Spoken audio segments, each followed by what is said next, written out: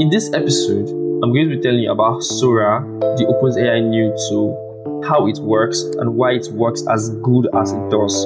To explain this, I want you to have these two sentences of frame. Number one, Sora doesn't understand physics and how it frames our reality. And then the second thing is Sora is really good at his job, even in the lack of understanding physics. Let me explain the four fundamentals. So what's up people, people of the internet, boys and girls? One genuine problem I face as a regular podcast listener is finding another interesting podcast I can listen to.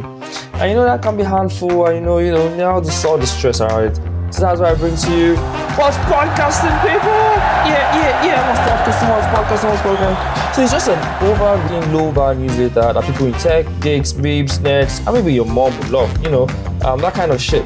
So kindly check the link in the description and sign up to receive three new podcast recommendations every week that you will definitely not love.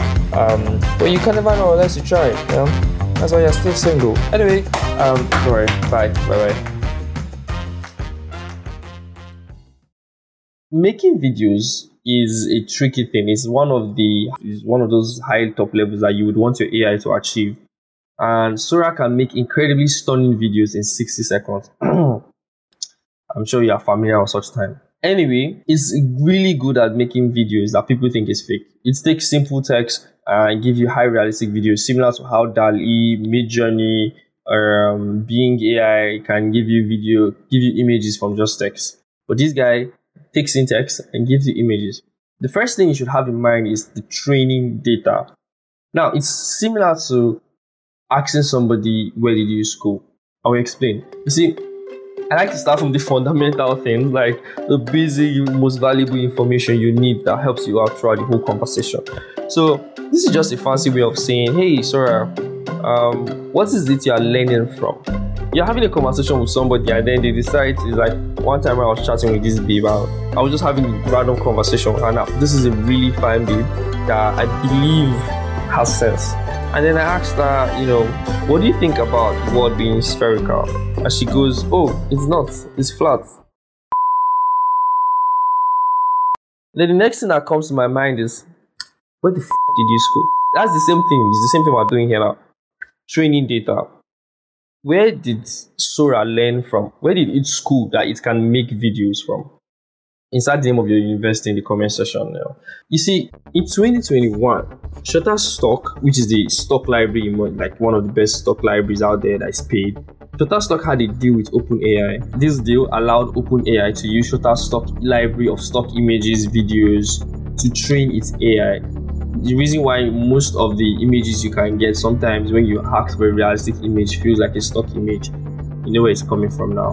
You see, in 2023 again, this deal was renewed, extending the partnership with OpenAI for six more years. Nigga, six years! Like, these guys, and this is a very, really, really important fact to note, is because knowing where training data is coming from and where Sora, which is the AI, is learning how to create videos from, helps frame the way Sora itself on the long run learns. So Sora is learning from stock images and stock videos from Shutterstock. There's a lot of stock here.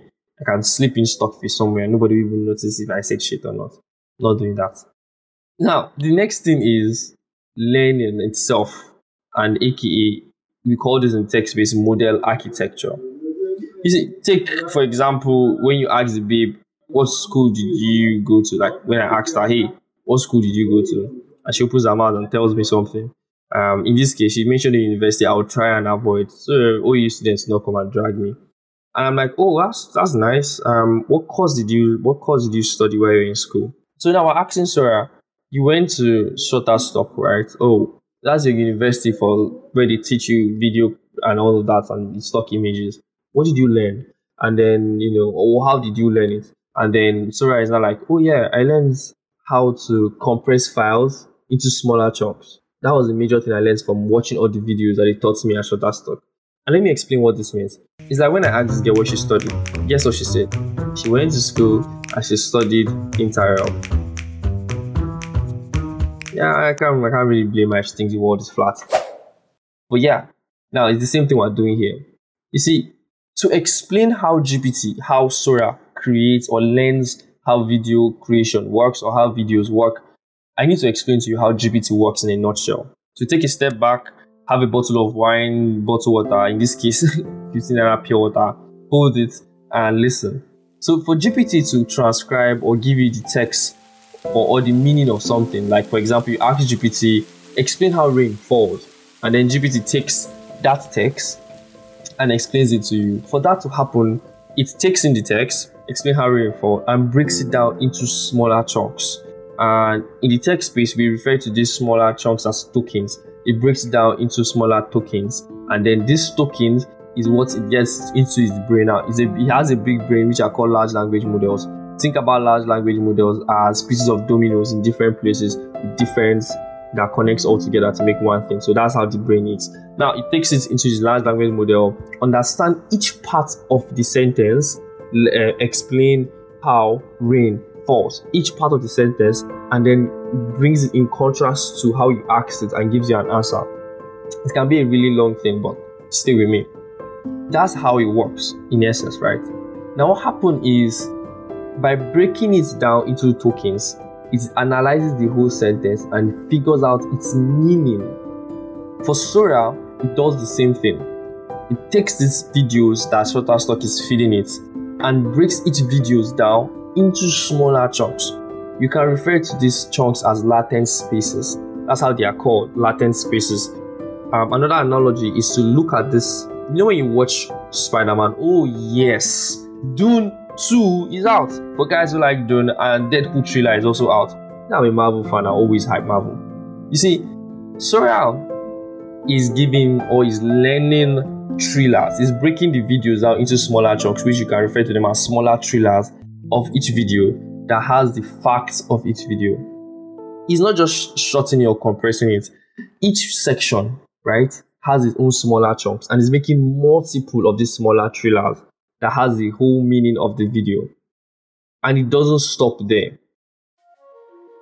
Sora takes each trailer and breaks it down into another trailer. It's like when I listen to a podcast on um, what's podcasting, I break it down into a newsletter and then break it down into a social media post. The essence is to see capture the very importance of the podcast. But from breaking it down into a newsletter, yeah, this is a segue to say check the link in the description to subscribe to What's Podcast and I get other awesome podcast recommendations for free. Now, I break it down into a newsletter, then break that newsletter down into a you know social media post. And that's how it works.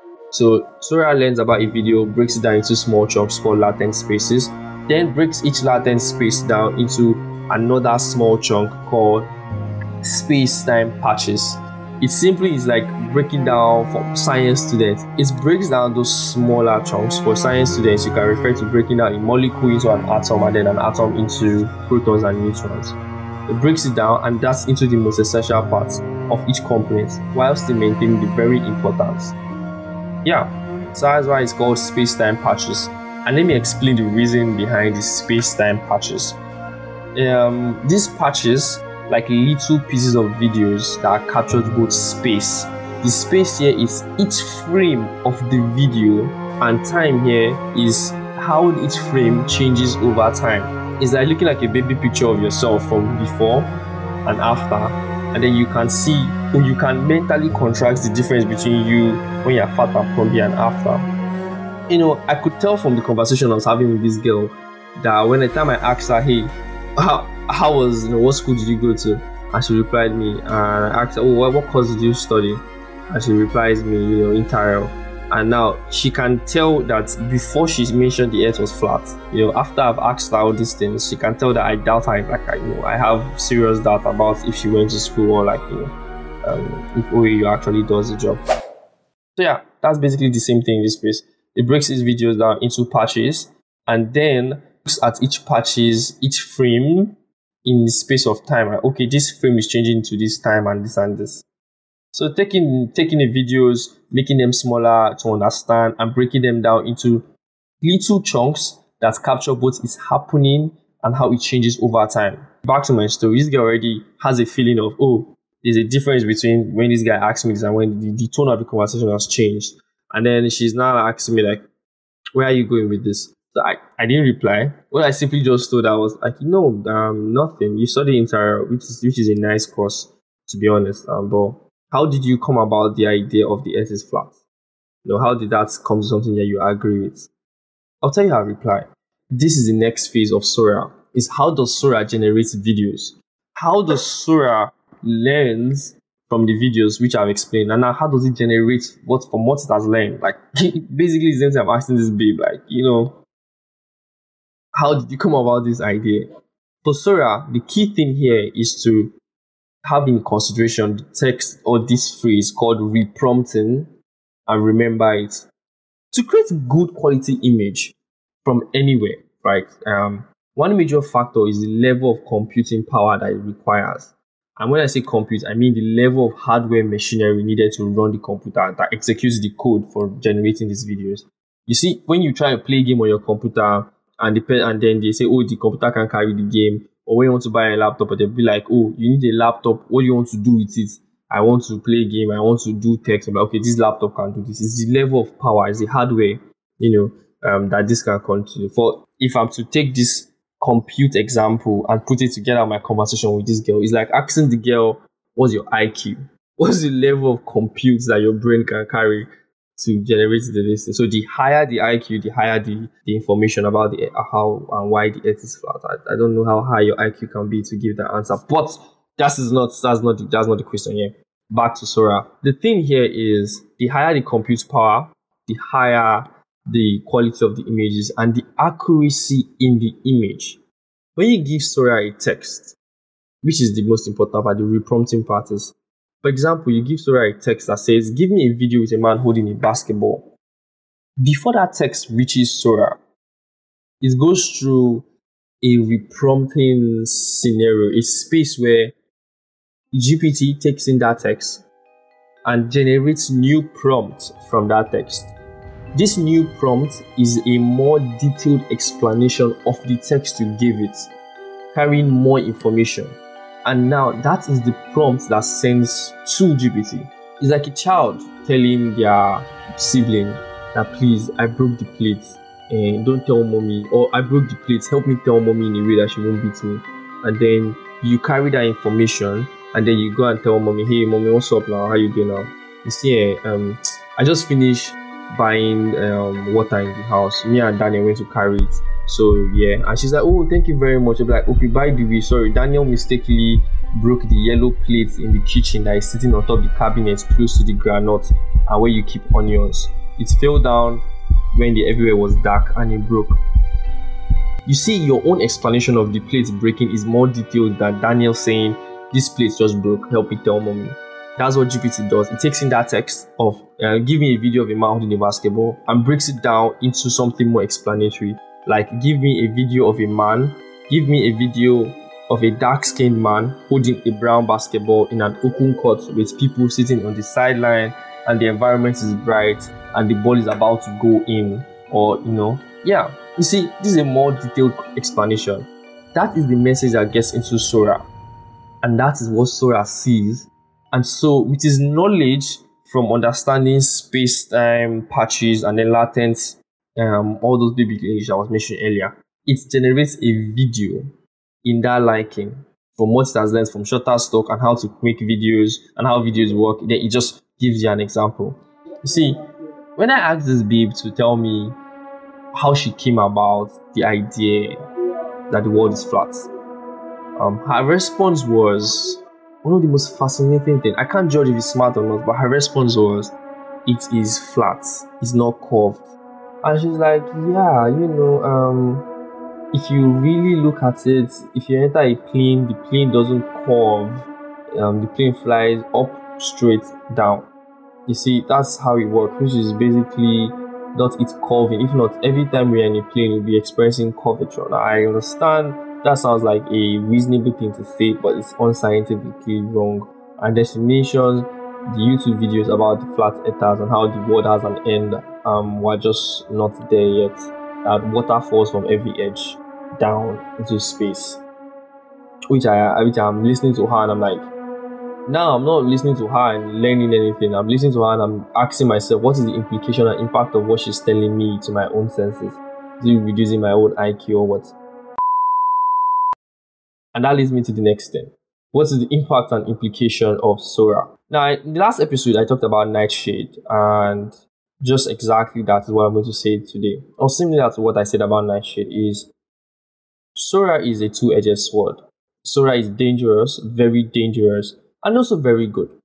Now, Sora opens up the door for custom stock images that are free that creators can use in making images and videos. Sorry, videos.